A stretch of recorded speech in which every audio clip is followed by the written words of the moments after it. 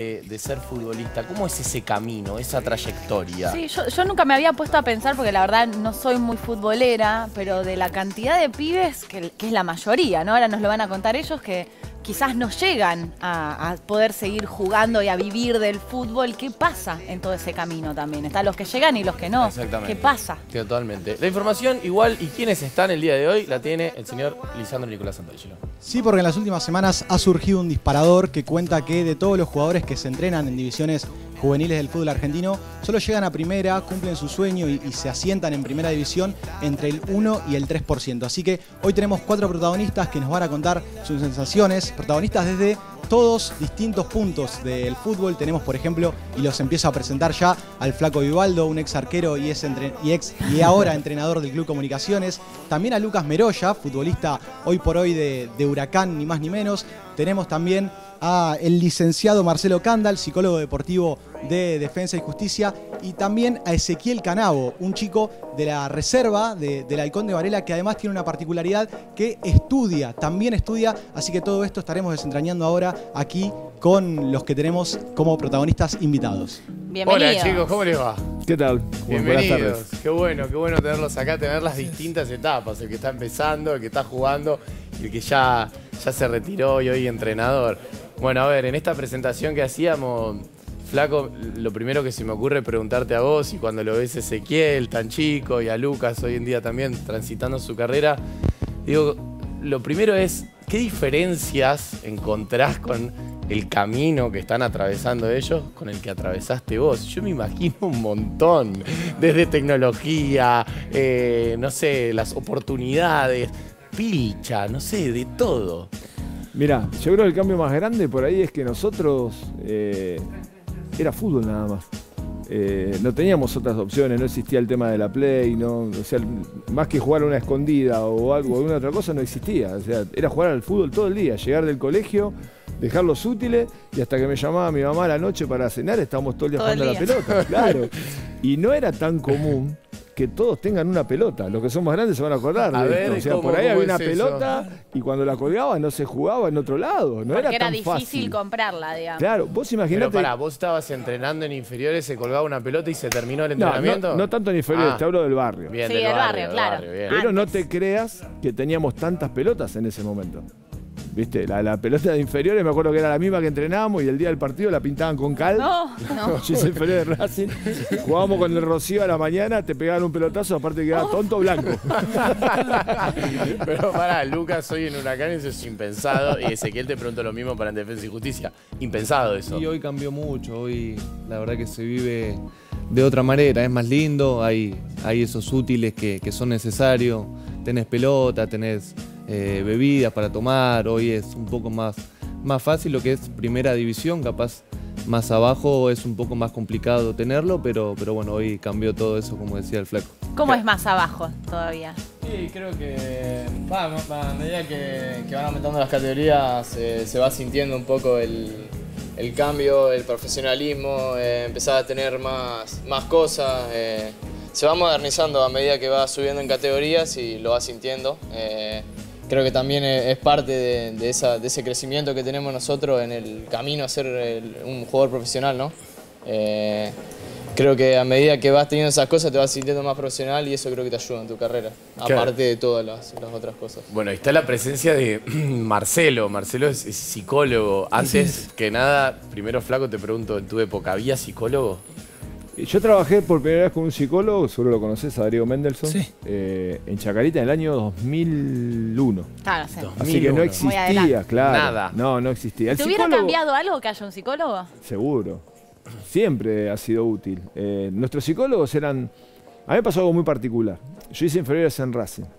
Y allá por el año 81 el técnico mío de la novena era el Chango Cárdenas, Mirá. que 14 Mirá el años antes había hecho el gol más importante de la De historia la historia de Racing. Racing. Claro. total, Si lo repite una vez más, lo van a dar Claro, raro, y él no solamente nos enseñaba y nos daba consejos, sino que nos enseñaba a vendarnos, nos sacaba a caminar y nos mostraba dónde vivía Oresto Mar Corbata, que fue un jugador de Racing Sí, un sí. fenómeno, que murió en la, po- en la pobreza total y nos enseñaba a él qué caminos tener que... Era nuestro maestro. O sea, si él nos decía que el sol era rojo, el sol era rojo. ¿Me entendés? Claro. Y ese aporte era muy bueno y nos contaba cosas que nos iban a ir sucediendo. Y después el respeto a los jugadores de categoría más grande. Eh, Racing tuvo una camada 66, 64, 65, 1965. Parece que hablo de prehistoria, chicos, para mí me suena muy cerca. Que fueron, claro, que fueron, que fueron campeones de proyección 86 y entonces era como que ellos bajaban una línea y se respetaban. Claro, y, y hoy en día, Marcelo, ¿cuál es ese trabajo importantísimo del psicólogo? También teniendo en cuenta un poco lo que decía Lisandro, el dato, ¿no? De, porque si bien trabajás con los que llegan, con Ezequiel, que hoy día está en reserva, esperando poder debutar en primera, ya estuvo en el banco con Hernán, ahora está esperando la oportunidad con BKHS. Digo, también tenés que laburar con un montón de pibes que no llegan.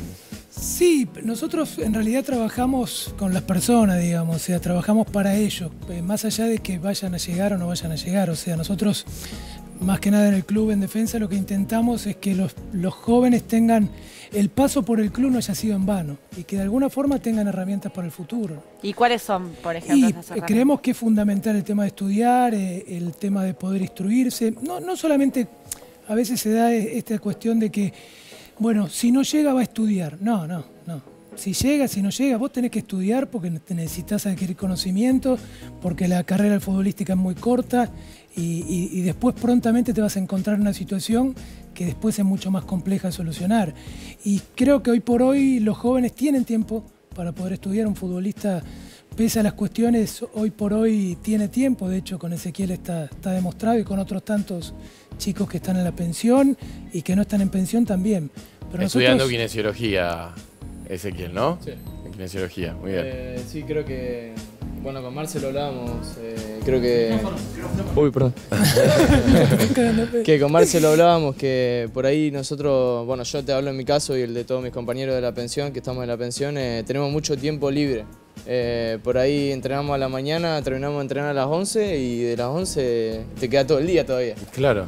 Y bueno, ta- también hay chicos que están en- todavía terminando la secundaria, pero creo que después de la secundaria eh, queda un vacío ahí que no sabemos cómo ocuparlo y creo que es una, es una muy buena opción. Bueno, la pensión me imagino de ser un espacio de contención también bastante grande para los chicos Como que una vienen de- familia, Claro, ¿no? Es total, una ya especie de vienen del familia. interior, total. Sí, quiero preguntarle a Marcelo especialmente cómo trabaja Defensa y Justicia, porque yo leía, por ejemplo, que AFA firmó un convenio también con el gobierno para que por lo menos todos los jugadores de juveniles sean y que estén firmando planillas sean escolarizados. Pero creo que acá Defensa y Justicia da un paso más adelante, ¿no? Pensando ya en lo universitario. Hay otros casos de chicos, ¿no? Que estudian economía, por ejemplo. Sí, sí, sí, tenemos varios jóvenes que, o sea, eh, nosotros desde, desde el club eh, y la línea que nosotros tenemos de la coordinación de Adrián es el hecho de poder que los jóvenes, más allá de la- los temas futbolísticos, que puedan instruirse, digamos. Entonces, es fundamental que puedan estudiar. A nosotros esta ley que vos decís no nos engancha eh, con apuro ni nada, porque todos los jóvenes eh, están escolarizados y nosotros queremos que estén escolarizados, Claro. y queremos que sigan estudiando. Claro. O sea, y después Son herramientas, digo, para justamente, si, si no se da lamentablemente la oportunidad de poder jugar en primera, digo, tener esas herramientas para poder enfrentarse a la vida. Me imagino, Lucas, ¿vos cuántos años tenés? 25. 25. Y digo, ya tus amigos con los que hiciste inferiores, muchos han dejado el fútbol Y sí, Sí. bastante tuvieron que, que dejarlo por tema lógico. por edad. Exactamente. ¿Y cómo le fue a la mayoría de tus amigos? No, bien, eh, casi todos trabajan, tienen familia, ya son grandes, pero bien, estamos en contacto siempre, la verdad que tengo buena relación con todos, así que eso, eso es lo, lo lindo también que deja ese, ese trayecto por inferiores, que te deja muchas amistades, lleguen o no lleguen, ¿no? Porque vos capaz llegás y, y capaz te abrís, pero no, no, siempre está eso. El grupo. eso- El exactamente, grupo. ese Y- grupo que vivió muchas cosas, Claro, viajes total. inferiores, eh, llegar a los hoteles siendo chico, Claro. y eso es algo muy lindo que, que te queda. Lucas, vos saliste de, de Huracán y te quiero preguntar cómo llegaste al club y también si tuviste que, que ir a pensión, porque el caso de Ezequiel, por ejemplo, en Defensa y Justicia, él está en pensión. Y cómo es también estar lejos de tu familia, si te ha tocado, y tener que rendir fin de semana tras fin de semana para que, para que las cosas salgan bien y cumplir tu sueño. Sí, bueno, yo por suerte no me tocó estar en pensión, siempre tuve mi familia cerca, eh, la verdad que bueno, yo soy un agradecido de ellos porque si no estaba cerca ellos eran los que me llevaban siempre de chiquito donde tenga que ir, ellos me acompañaban en colectivo, en, en tren, lo que sea, ellos siempre estuvieron conmigo, Eh, pero sí, conozco gente de, de pensión que es difícil, eh, conozco chicos que de los 8 años que tienen que dejar a la familia Claro. y vienen a, la pensión siendo Fuerte. muy chico y Muy chico. capaz tu madre pasa de ser tu madre original a ser una que está en, en- en la pensión, ¿viste? Y te crían a la forma que ellos, que ellos quieren. Pero bueno, eso es uno de los sacrificios que creo que hace el futbolista, ¿no? Eh, que, que está con mucha hambre esa de, de querer llegar y ese es uno de los sacrificios que, que es muy, muy importante. ¿A partir de cuándo, perdón, empezó la pensión? Eh, ¿que ¿A partir de qué año, o, Flaco, vos sabés? No, ¿Tenés yo ya cuando estaba en inferior ya existía. Ya existía. Sí, sí, sí. De toda la vida. De toda la vida. ¿Y sí. te suena como que era lo mismo de lo que están relatando ellos? Sí, seguro. se- Antes por ahí con mucho menos recursos, eh, muchísimos menos. De hecho, yo a uno de mis compañeros que estaba en la pensión en ese momento lo llevé a vivir a casa porque a veces la comida escaseaba. Eh, bueno, en el caso de Racing estaba Tita Matiusi, que, que era una fenómena, que era un poco la madre de todos. Exacto. Y, y bueno, se, se ocupaba de que no le falte esa contención que hablaba él. Nunca va a equiparar al amor de tu familia y de tus padres, pero yo escuchaba lo que decía y es verdad. Uno habla del futbolista de- de- del sacrificio, pero yo creo que donde hay pasión no hay sacrificio. Y el fútbol era una pasión, ¿me entendés? Eh, entonces vale la pena intentarlo. No hay que bajar los brazos nunca. eh. La oportunidad de ser futbolista la tiene ahora.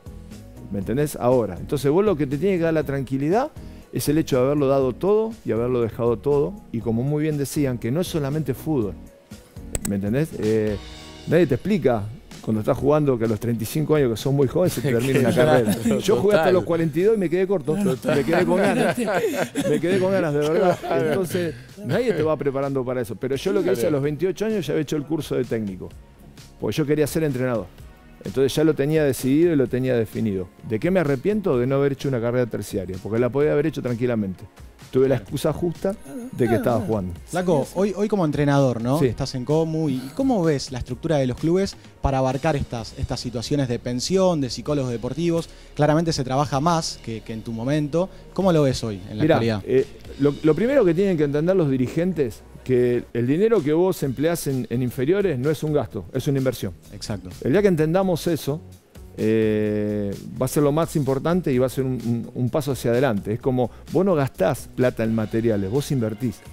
Entonces a veces los clubes del ascenso tienen que, con un presupuesto muy chiquito, elegir y cuánto pueden aportar y hasta cuándo pueden apostar. En el caso de comunicaciones, esta es la tercera etapa que estoy y la verdad que esta es maravillosa. El club está muy bien, hizo dos canchas de sintético, la cancha auxiliar que antes era tierra, hoy está perfectamente sembrada, entonces se le están dando herramientas.